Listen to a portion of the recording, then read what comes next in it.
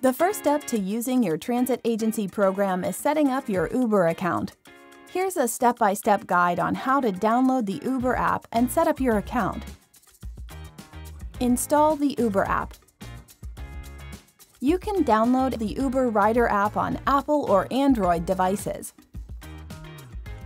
Open the App Store on your mobile device and then follow the steps. 1. Tap Search in the menu bar at the bottom. Then type Uber in the search bar.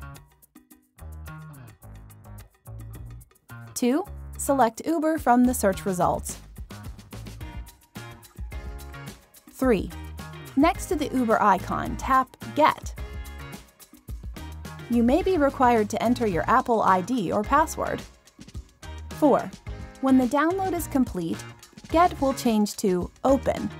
Tap Open to open the app setting up your account.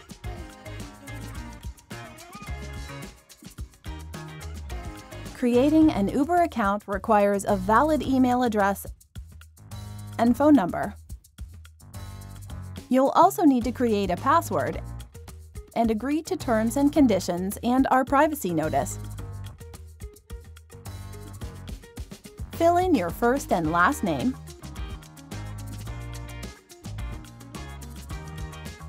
and phone number. Once you complete this part of the sign-up process, we send a text SMS to verify your phone number. Next, enter your payment information. Adding a credit card or debit card number allows your trip fares to be automatically charged after each ride. After you provide this info, we'll send an email to confirm your account registration.